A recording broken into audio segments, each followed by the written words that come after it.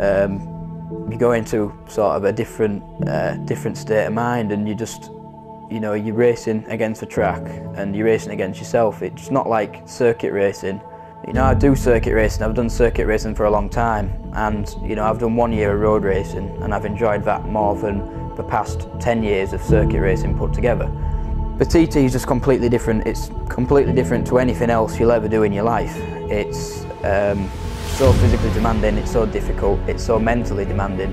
And you know, just to say you finished one TT is a massive achievement. And you know,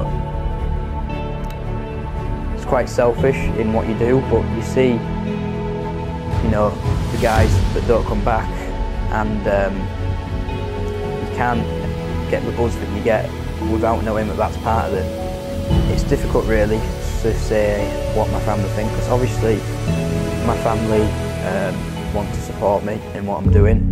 Obviously with all the danger of racing the Isle of Man TT and all the, you know, the injuries and, you know, people getting killed, it's, uh, it must be really hard for them and, you know, um, it's not as if they can stop me from doing it because you know it's what I want to do and and it's something that I'd wanted to do for it you know forever. I used to watch I used to watch that when I was nine years old with my dad and I just thought wow them boys are just their next level. They just look superhuman when you're watching them on TV doing you know 200 mile an hour between these walls. You think they're some kind of you know superhero.